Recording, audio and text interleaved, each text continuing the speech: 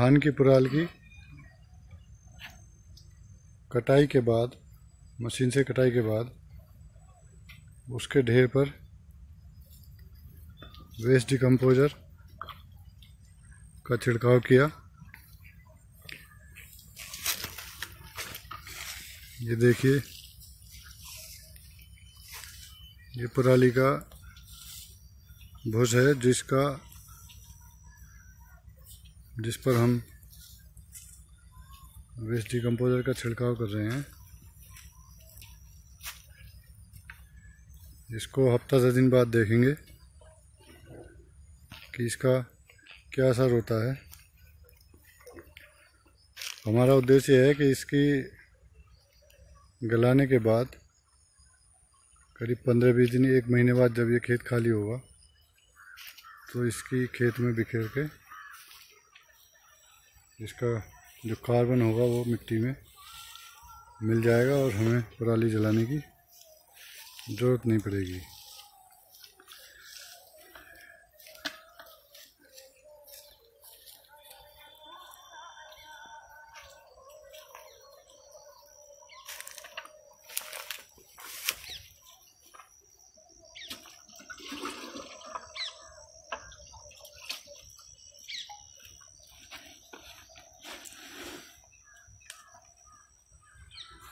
किसान भाइयों,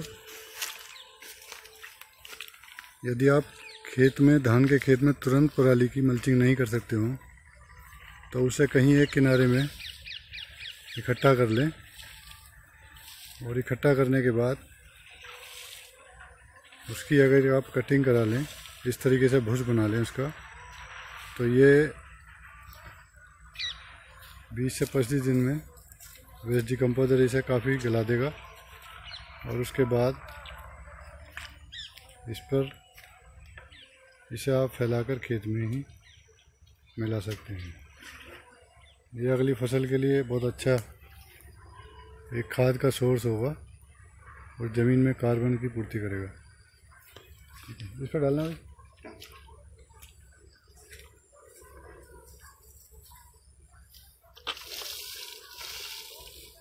इस पर हम बताएँगे करीब दस दिन बाद इस खाद की रिपोर्ट कि इसका असर कितना हुआ, कितना ये गल चुका है। धन्यवाद। यहाँ ये गलना शुरू हो गया। ये है एक हफ़्ते के बाद का। इतना गलना शुरू हो गया है इसे। और अगले एक हफ़्ते दस दिन बाद काफ़ी कुछ डिकम्पोज हो जाएगा। तब हम बाकी आगे को आपको दिखाएँगे।